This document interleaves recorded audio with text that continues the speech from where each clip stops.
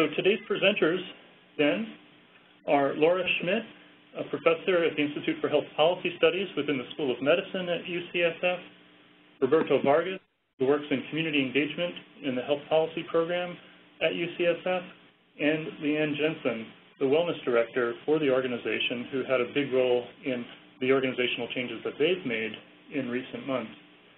And then on our side, I think Barry will be leading off commentary um, around what's happening locally in San Francisco within our hospitals, and I will be, uh, and Abby will contribute to that dialogue as well.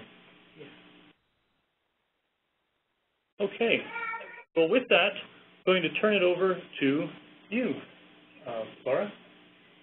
Hello, and thank you all for the opportunity to share what I know with you about sugar and health.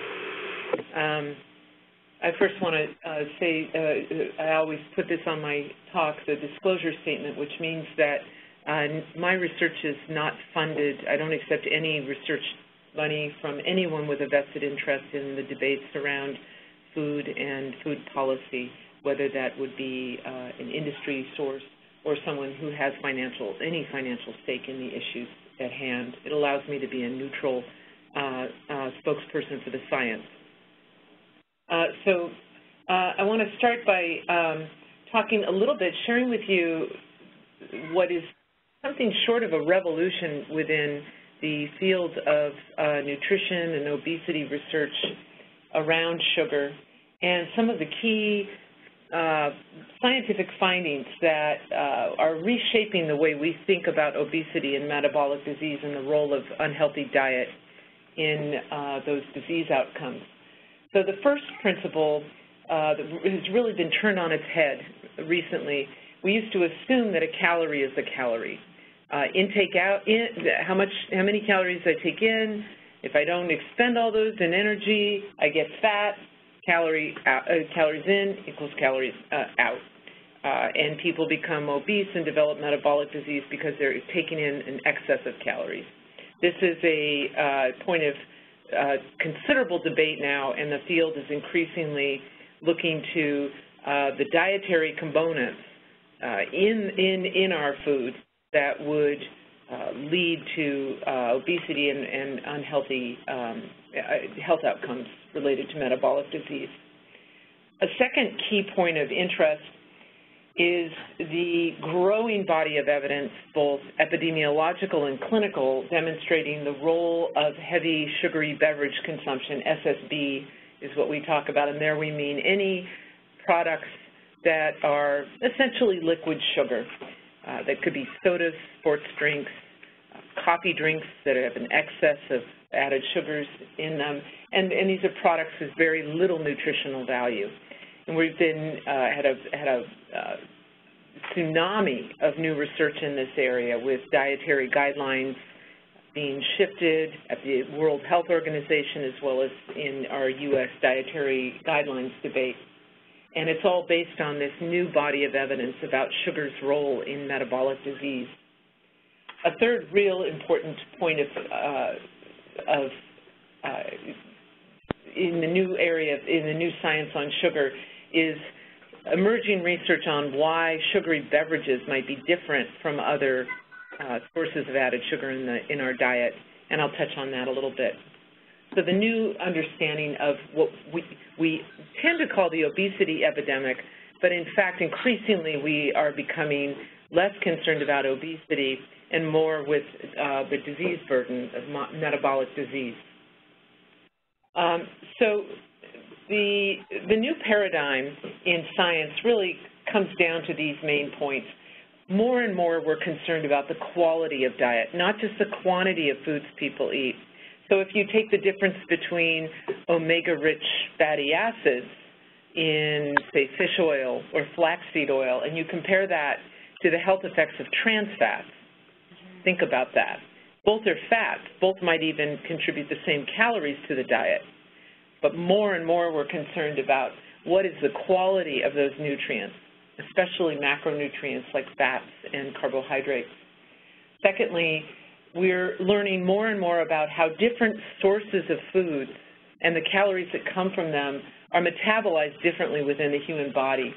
And a very important body of research is emerging around the uh, different kinds of sugars that come in the foods we eat, uh, there are a variety of them, and how our bodies absorb these uh, sugars.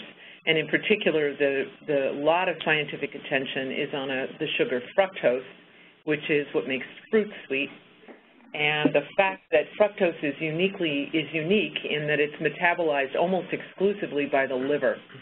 And as I will point out in a few minutes, rising rates of fatty liver disease seem connected to our excess uh, fructose consumption.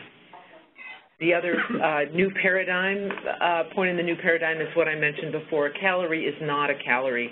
It's not obesity and, and, and uh, obesity-related diseases are not simply a matter of calories in, calories out. The nature of those calories, the quality of the foods, how our bodies metabolize those calories is, are important in explaining why some people develop obesity and others don't. So in general, more and more scientists in our field are taking our focus not off of obesity, but getting more interested in the metabolic diseases that tend to travel with obesity, diabetes, chronic um, uh, cardiovascular disease, stroke, mm -hmm. yeah. outcome. Yeah, I put it on. Okay, I can hang it up though. Where's slide? So there are two trends in in population health right now that every, all of us should be not only aware of, but deeply concerned about. These are happening not just in the United States, States but worldwide as the Western diet, rich in saturated fats, sugars, and unhealthy dietary components, becomes part of the standard fare around the world. Uh, children, in many cases, are, are you know, I, I say they're the canaries in the coal mine. When we start seeing the rise of adult diseases in children, we know that there is something very wrong with our food supply.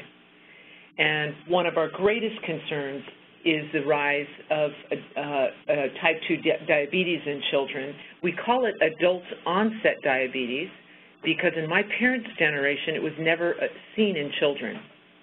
Today, one in four American teenagers is pre-diabetic or diabetic.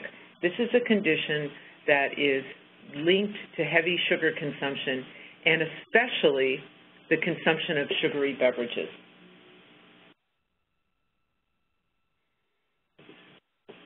That's a chilling picture to look at, isn't it? This is what we've seen over the course of a few decades in rising rates of uh, diabetes, and most of the burden is uh, type 2 diabetes. As a population health scientist, I can tell you we don't see these kinds of, of changes in, in, in population health without there being something very wrong in the environment. And added sugars, and particularly in the form of sugary drinks, are one of the main culprits that we're, we're looking at. A second, a second uh, trend uh, that is deeply disturbing in, in the U.S. population, and again, this is happening worldwide as well, it's a prevalent problem in India, is the rise of whole new diseases that we didn't even, that didn't even exist before. So the diagnosis non-alcoholic fatty liver disease didn't even exist until 1980. This is, again, a condition linked to heavy sugar consumption. Uh, today, 31% of adults and 13% of our children in America have fatty liver disease. By 2020, this will be the leading cause of liver transplantation in America, a condition that didn't even exist 30 years ago. Uh, this is showing you the spectrum of what, what happens to people, uh, and this is uh, I, I, from the standpoint of your liver, the onset of non-alcoholic fatty liver disease is identical to what is going on when, when uh, people who drink too much develop cirrhosis of the liver due to alcohol consumption. So fat accumulates in the liver. Uh, eventually, if it's left unchecked, that fat starts to form inflammation and scarring in the liver, and if the disease continues, uh, the person, person will develop cirrhosis and require liver, a liver transplant. So sometimes I talk about these two trends as signs, just like as in the case of global warming. When we see melting icebergs and rising sea levels, we know something's wrong with the environment and we need to act, and we need to act soon. These are the, the, the warning signs in population health that we have a global warming of human health going on. So it's important for everyone to understand that the idea of metabolic syndrome because currently scientists are viewing this as the underlying uh, syndrome that drives the onset of most forms of chronic disease, diabetes, heart disease, stroke, even uh, Alzheimer's disease.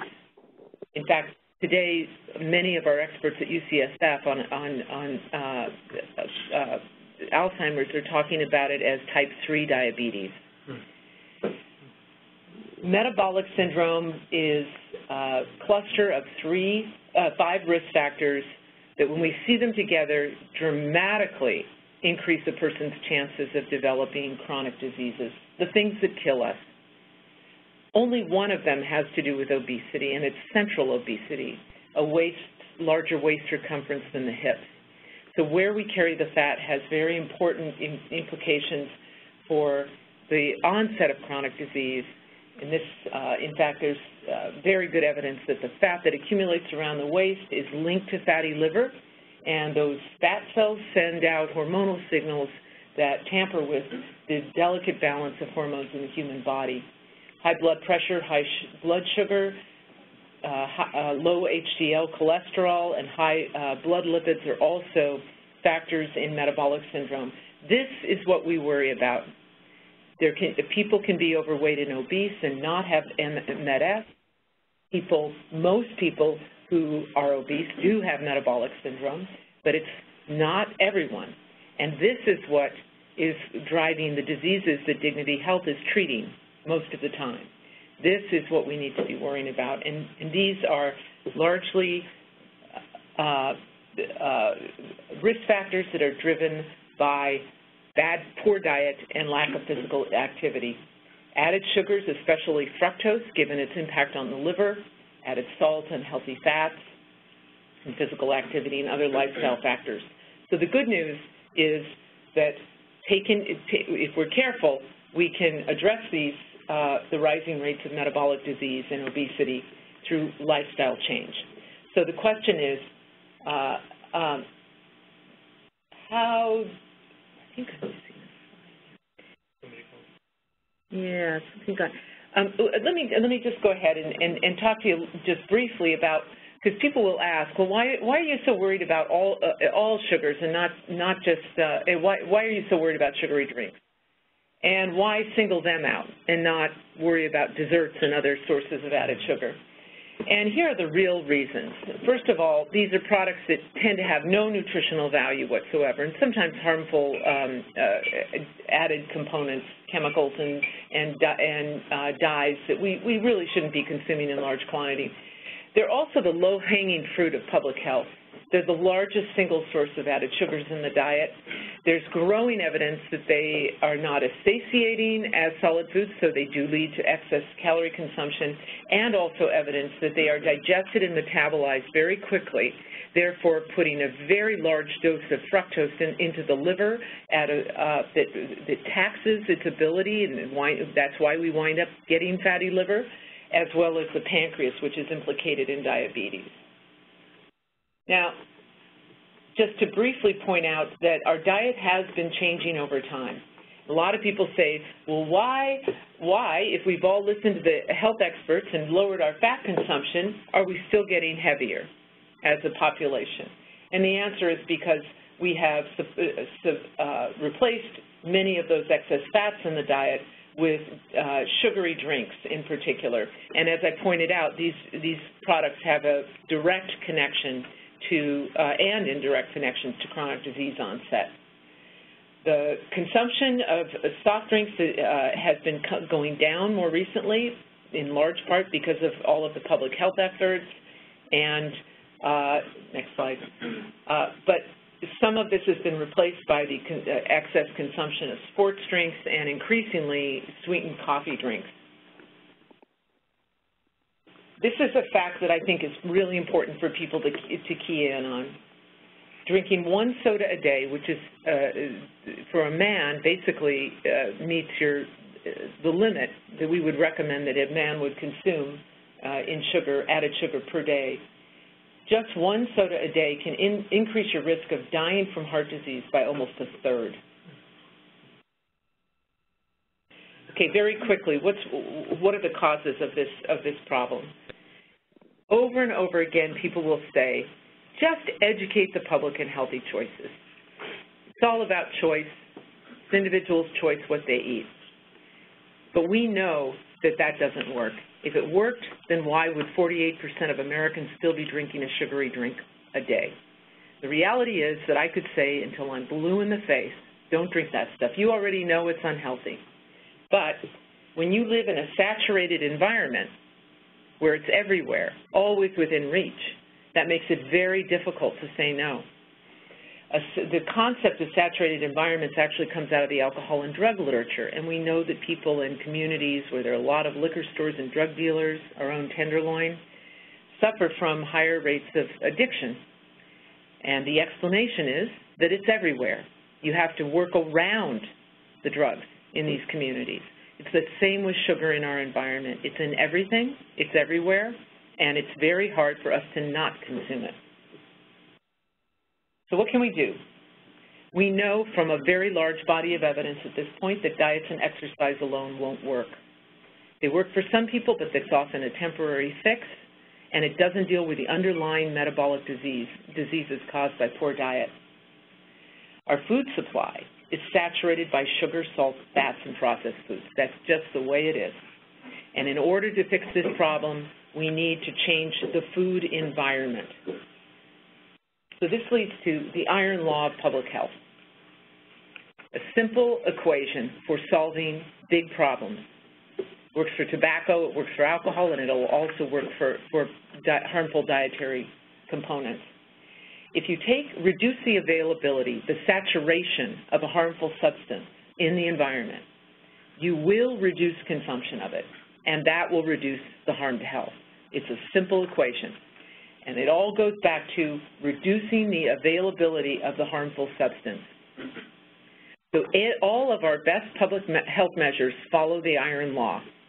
They, they are all targeted at reducing the availability of harmful products in our environment, making it harder to reach, harder to get, gently nudging consumers away from the unhealthy stuff and making the healthy stuff more available to us. So once you understand this very simple principle, it becomes very easy to come up with uh, a whole spectrum of ways that we can nudge ourselves away from the unhealthy stuff and re-rig the environment to make it safe. One of the most important ways we can do this is in our workplaces. We spend many hours in our workplaces, and this is also true of our homes. The environments that we uh, live in on a daily basis, we can re-rig them to make them safe not for just ourselves, but for our children and our families. And one of the most effective ways to do that is by taking the sugary uh, drinks out of the workplace, taking them out of the schools, taking them out of our uh, uh, environment. The question that I ask myself is if my institution, UCSF Medical, uh, the medical center, is about promoting health and treating chronic disease, why would we be saturating our environment with products that we know cause chronic disease? Very important question to ask ourselves as healthcare providers. Is that consistent with our vision and our mission in the world? Many other ways that we can approach this, changing product placement. When companies put candy at eye level for a child, we can put it up higher on the shelf. It's a very simple thing, making it harder to get the unhealthy stuff and putting the healthy stuff well within our reach. Banning ads, we're part of environmental saturation is that we're constantly being barraged by carefully uh, designed marketing campaigns designed to, to uh, promote products that are not good for us, and especially sugary drinks. We, the school lunch program has removed sodas and sports drinks from schools that want to get federal funding, that doesn't mean that kids aren't getting them from the vicinities around the schools. So again, cleaning up the health environment, making these products harder for our children to get to. Stairs closer to the elevator, I mean, this just, the list can go on and on. The more that you can change the environment to uh, make it, let, reduce availability, the more likely we are to bring this obesity and chronic disease epidemics under control. So to sum up, we talk about an obesity epidemic, but what we really need to worry about, especially as healthcare providers, people responsible for, for improving the health of our population, so we need to be thinking about metabolic disease. And sugar, especially in the form of concentrated doses in sugary drinks, is a driver in nearly all of the five factors in metabolic disease, the metabolic syndrome. We know it's linked to cholesterol, triglycerides in the, in the blood. It's linked to central obesity via the liver connection.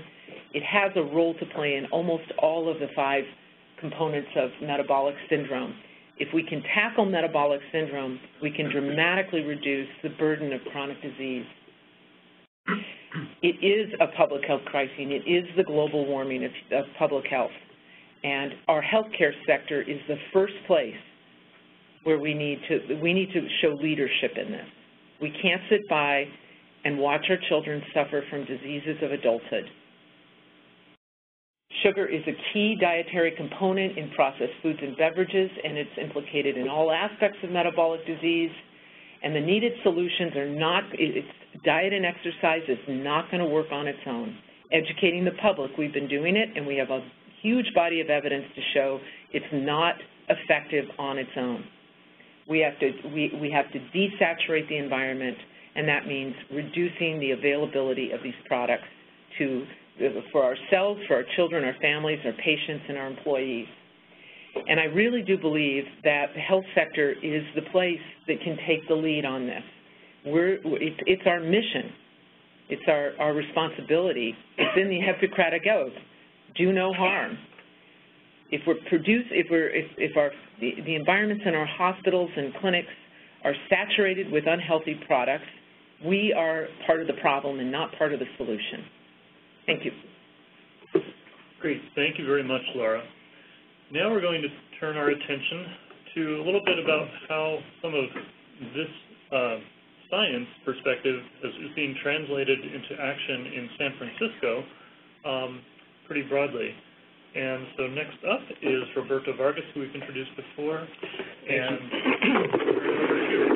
Thank you, Michael. So what I'm going to talk about is how we leverage the science and resources of UCSF uh, to work collaboratively with uh, with our partners here in San Francisco uh, to change the environment, to raise the level of awareness, um, increase education in the population, and uh, and to change uh, policy when appropriate and necessary. And, and I, I want to say that you know these are this is the path that San Francisco chose, and of course everyone's got to determine uh, where the opportunities exist in your own in your own locales and uh, who are your champions and what what is the most appropriate path forward. So um, I'm going to talk about some of how we worked collaboratively uh, on those different uh, on those different approaches. So as I said, we worked on education. Um, we've worked on both municipal policy as well as organizational wellness policies. Um, and we've got some exciting uh, activities active now and, and next steps that, uh, that I think are also fairly exciting that I'll share with you all. Next. So we've embraced the socio-ecological model uh, for our approach. Um, as you can see down there at the, at the bottom, by way of strengthening individual knowledge and skills. Um, and some of the examples that, uh, that we include by way of efforts through Shape Up are like tabling at uh, community events. Um, we've got some web-based education. TheBiggerPicture.org is one of those examples. Uh, certainly some clinical uh, education patient-provider. Uh, promoting community education, both by way of community-based workshops and outreach as well as our web-based education efforts, um, and certainly by way of fostering coalitions and networks, and the San Francisco Hospital Council um, has been a key partner in that, particularly in the last uh, couple of years. Uh, so Shape Up San Francisco is a coalition that was uh, formed about eight years ago by um, uh, previous mayor Gavin Newsom, and uh, they brought together the, the Park and Rec Department, the school district, uh, universities, and other key local partners. San Francisco Health Improvement Partnerships, that SF-HIP there, uh, oh, if you could step, just take one step back, SF-HIP, um, it was an effort that began uh, about six years ago, mostly in partnership between the Department of Public Health and UCSF to find better ways of, of coordinating our local efforts to reduce uh, and eliminate health disparities. And in the last several years, um, the Hospital Council is, now a key leader in that as well. So there's sort of that triumvirate between those three large institutions. Um, and then also, as I've mentioned, the organizational wellness policies, and sort of at the at the outer level, the policy and environmental level, um, UCSF has leveraged our scientists to provide uh, advising on the research um, to local policymakers interested in, in, looking at opportunities to develop health policy that is, that's informed by the research and the science. Next, please. So SF-HIP uh, has a website, sfhip.org. If you all are interested, we've got local data there, and we share uh, more information about some of our key priorities. Uh, reducing uh, uh, obesity-related disease disparities is one of our key priorities over the last several years as are uh, reducing um, uh, disparities in children's oral um, oral health. Um, so um, uh, childhood dental caries is, is one of um, the few diseases, uh, chronic diseases that is actually preventable, absolutely preventable, and that's one of our key priorities, as are uh, um, looking at the local alcohol retail and its uh, consumption and uh, impacts on health and safety of, of local communities. Next. So the Shape Up San Francisco Coalition also has a website I invite you to take a look at. And the priorities for that coalition are to uh, increase um, healthy eating, increase physical activity, and reduce consumption of sugary drinks, among other things. Next. So multi-stakeholder effort, uh, all of these and um, the hospital council um, has partnered with us certainly, and others include the SF uh, policymakers, the university, uh, the Department of Public Health, mayor's office, school district, et cetera. More recently, the business sector has been engaged as a partner, as has philanthropy, uh, and we're certainly partnering with community-based organizations, particularly from those communities that are disproportionately burdened by these health disparities that are priorities for us to address. Next. So some of, some of the ways that these different stakeholders are holding their stakes, so the impacted communities, for example, have co-convened focus groups um, in those impacted communities to help us understand uh, which approaches they think are most relevant uh, and effective from the perspectives of their communities. Um, they've partnered with us to adopt beverage policies, uh, for example, at the San Francisco YMCA, They've got 10,000 families that, are engaged with their services, and they've adopted policies to be uh, sugary drinks free, for example. And there are other uh, organizations listed there. They've helped us to convene uh, their own education um, resources. So we've got lay health workers and promotoras partnering with us uh, to do that education in community. Uh, and then we've got the bigger picture um, and other organizations working with us for a web web-based education. Thank you. Um, universities, um, particularly UCSF, has helped to leverage the science.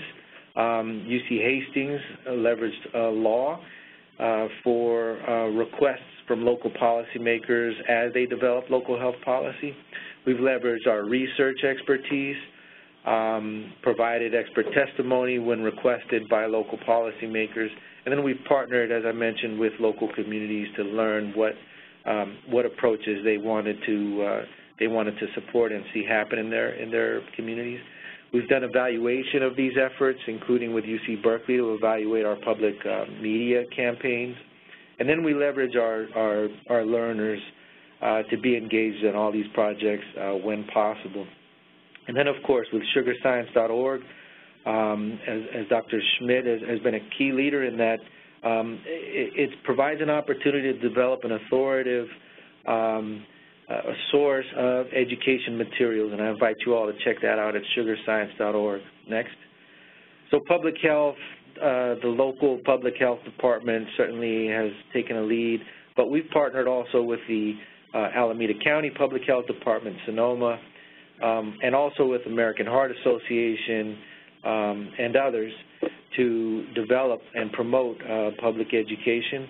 And we've also um, provided technical assistance uh, and have convened uh, coalitions toward these uh, education efforts. Next. Policymakers, as I mentioned, have helped to develop policy, but in addition to that, they, help, they have helped allocate funds for new tap water stations, which is also a part of this effort that's just beginning to launch.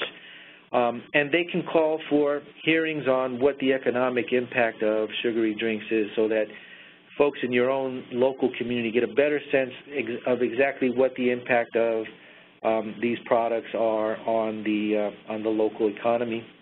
Uh, and they serve they've served as uh, spokespeople and have convened he hearings.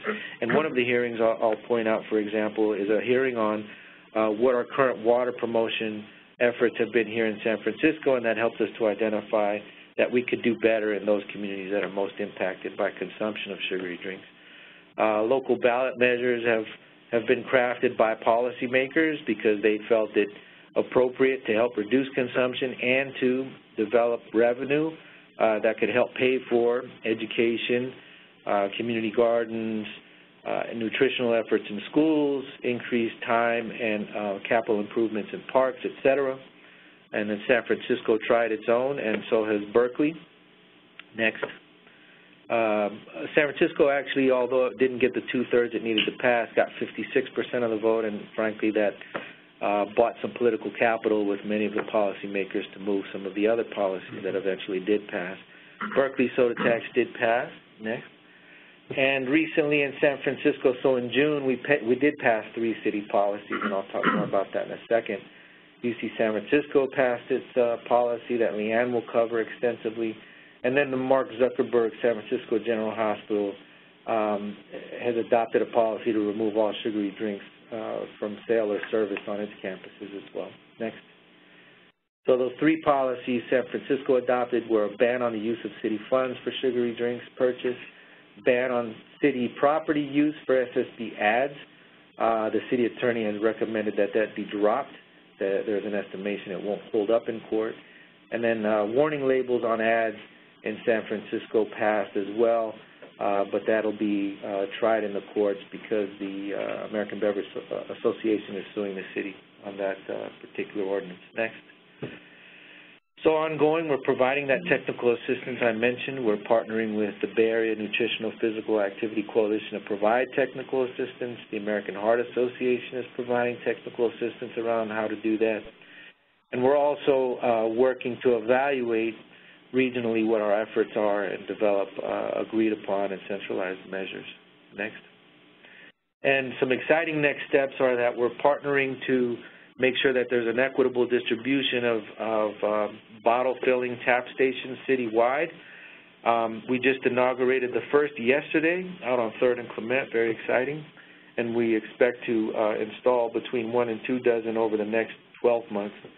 Um, and we're also partnering with lay health workers from those same community-based organizations to help us shift community norms. We know from the research that uh, folks who are immigrants or descendants of immigrants uh, are less trusting of public water uh, sources because they come from countries uh, where you cannot trust the safety of public water systems. And we also know that low-income folks are less trusting um, given the fact that they're residing in, in uh, older housing stock and sending their children off to schools um, where um, there, there are less new facilities and so they're less trusting that the, that the plumbing is safe. Um, but we're working with lay health workers to help communicate the fact that we have actually um, uh, tremendously safe and delicious public drinking water here in San Francisco, uh, and we hope to shift that community norm through those efforts. Uh, next. So we're partnering, and here's an example. Just last week, we had this session of uh, community-based lay health workers from three uh, community coalitions representing African American, Asian Pacific Islander, and Latino communities to help us uh, translate ed, ed, materials into ways that are relevant and communicated in ways that are relevant to those communities that are uh, particularly burdened here in San Francisco by chronic disease disparities.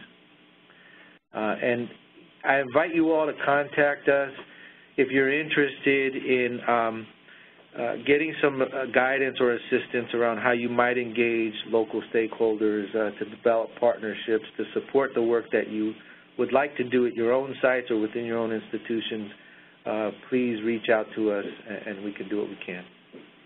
Great. Thank you very much, Roberto.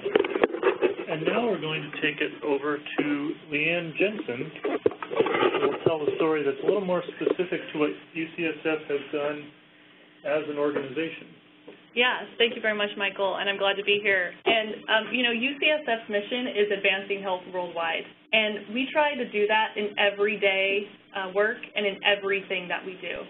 And in reflecting on this presentation today, I was thinking about Dignity's mission, and we're actually very similar. You know, we have a mission of health and changing lifestyles and improving lifestyles, and we're in the business of healthcare. So I just want you all to think about that as we move forward on this presentation today. So as my role as Wellness Director at UCSF, I'm charged with building a culture of wellness at UCSF. And what does that look like, right? We have 30,000 employees, couple thousand students, thousands of visitors that visit our campus every day. So we started to deploy the traditional wellness efforts that you see all across the nation. You know, we have healthy eating awareness campaigns, flyers that say make the right choice. We have cooking classes, stretching sessions, on-site yoga. And what we were seeing is we just were not having an impact. For years we tried this, and man, we were trying it really hard. We were doing all we could. And the one thing that we noticed is that we hadn't addressed our built environment. And the built environment is what you see and experience, regardless if you can attend a class or not. If you were to step foot onto an environment at UCSF, uh, the building, or anywhere for that matter, what are you experiencing? Is it healthy or is it not?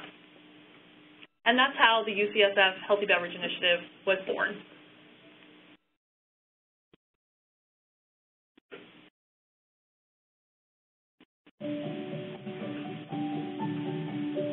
At the University of California, San Francisco, advancing health worldwide is our mission. As a renowned health organization, it is important that we are attentive to our health at home a main factor that prevents many from living healthy lives is excessive sugar intake. It is recommended that men, women, and children limit sugar consumption to live a healthy life. A 20-ounce bottle of soda contains around 16 teaspoons of sugar, which far exceeds everyone's daily limit.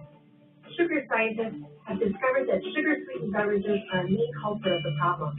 This is any beverage that includes any caloric sweeteners such as soda, energy drinks, fruit drinks, sports drinks, and sweet coffees and teas.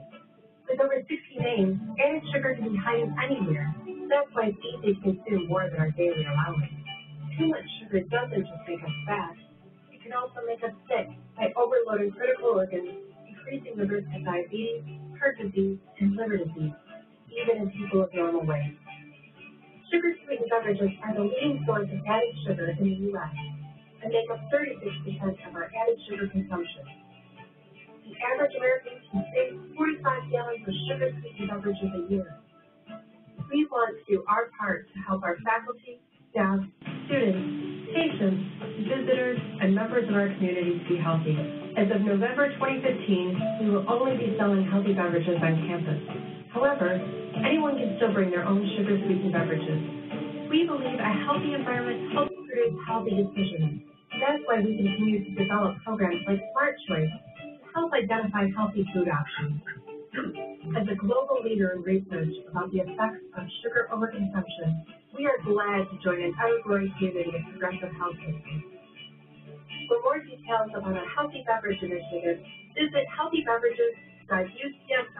healthybeverages.ucsf.edu. living a healthier life. Now that is.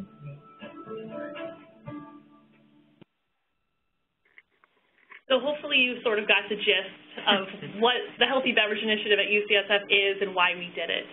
And I do want to go over a little bit more detail about it so that you have a full understanding. Uh, we eliminated the sale and service of all sugar-sweetened beverages at UCSF. So this was a phased-out approach. We did this over a 16-week time span. We didn't just rip everything off the shelves in one day. And over that time span, we spent a lot of time educating our consumers and our employees and everyone about what was going to be happening. Um, so they had a lot of time to digest it and also help us. And this includes all of our vending machines, all of our cafeterias and our hospitals, uh, campus eateries, retail locations, and even all of our catering services and um, our patient menus as well. So people often ask, why sugar-sweetened beverages? Why are you picking on sugary drinks? You can do a lot with a built environment. You could start anywhere. But I think, you know, what we heard from Dr. Schmidt is that it's the low-hanging fruit. It's the obvious choice.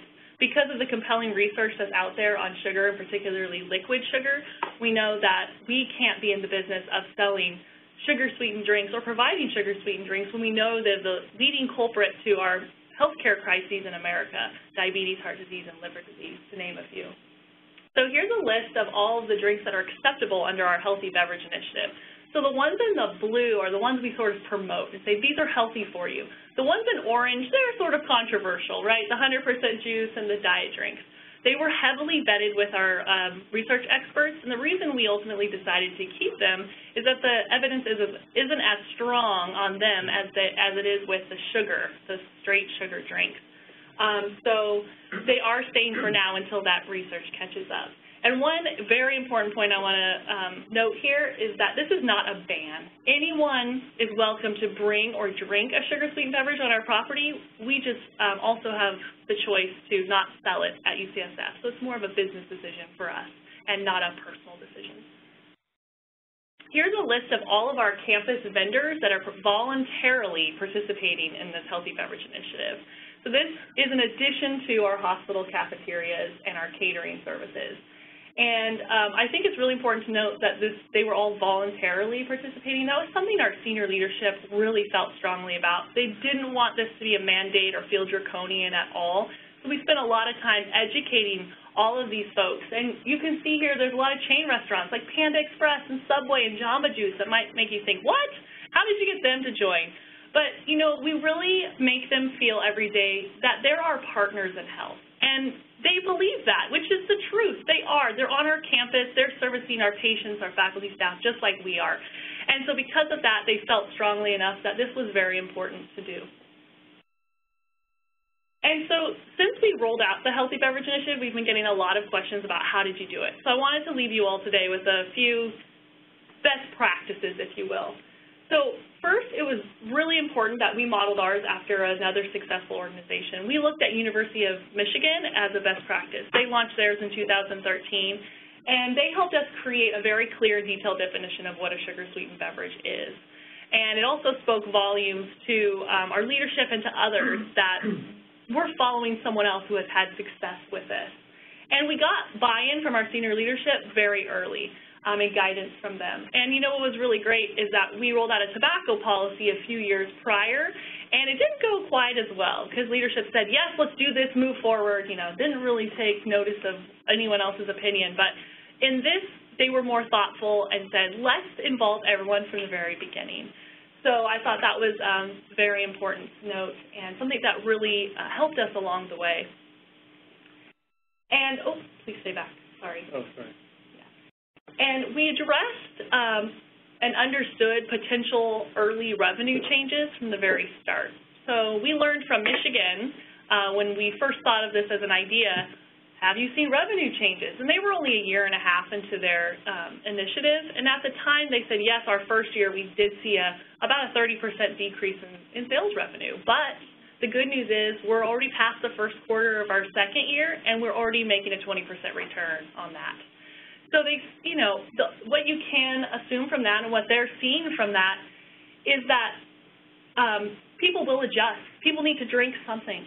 people are thirsty. They have to stay hydrated. So it may be an initial shock, but ultimately, um, even with that, senior leadership felt that we can't be in the business of making money off something that we know causes harm. And we were also very clear about the why, and as Dr. Schmidt um, pointed out, there's a mountain of evidence, and we have a mission of health. So that was really our story, and we stuck with it. And we educated and communicated this a lot. I mean, people didn't just hear it once through an email from the chancellor. They heard it from us in presentations in person. We visited people individually if they wanted to talk about it. We had discussions. There were committees. It was, uh, we talked about it a lot. We wanted to make sure people were well informed. And we had a set timeline and stuck to it, and I think people appreciated that. And the number one, probably most important thing is that we addressed freedom of choice before anyone else could ever raise the question.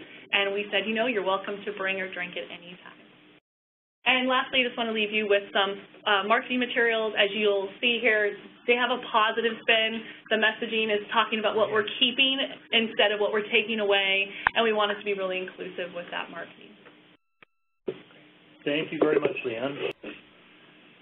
You know, one thing, I, if I could ask Leanne from UCSF, to what degree you worked with HR and or employee wellness because this had a huge impact on employees in addition to patients and visitors, clearly. Yeah, I can kind of tell you just from my experience how it went, like the order. So my colleague and I had this idea, well, and Laura Schmidt and I, three years before it became a reality. And so we had started with our wellness committee. I think we went about it wrong. You know, we started three years ago, went right to our wellness committee and said, what do you think of this idea? you know, and not many people had done it at that point, and even these wellness people said, no, that's insane. You know, so then we started to explore it a little bit more, and other people started to do it, and so we decided to take a different approach a couple of years later, and we went straight to senior leadership, which is our um, chief HR officer, our chief medical officer, and our associate medical officer, and we pitched the idea, and then that's when they said, we like it, let's go find out what everyone else thinks. So then we had to go to our stakeholders, which then we went back to the wellness committee and said, we have senior leadership buy-in, now what do you think? here are some other people, and that's when um, we got them involved. There's, you know, I think it's vital to get them involved, but um, that's just how it played out for us. I think it could play out anyway for any organization. No organization is the same, you know, so I mm-hmm. think that's important. This is Laura from UCSF. I wanted to add that one of the most important things I think that shifted the di discussion, reframed the discussion for us at UCSF as a public university was to take the focus, you will hear over and over again by everyone you talk to, it's why do you want to take away my personal choice? And you have to just flip the script on that one. And you say, this is not about personal, your personal choice. You have complete freedom of personal choice in what you want to drink and eat. This is about our public, our, our institutional responsibility. We're a public institution. We have produced and generated a lot of the research documenting the harmful effects of sugary drinks, and it's just not right. It's just not okay for us to be doing this.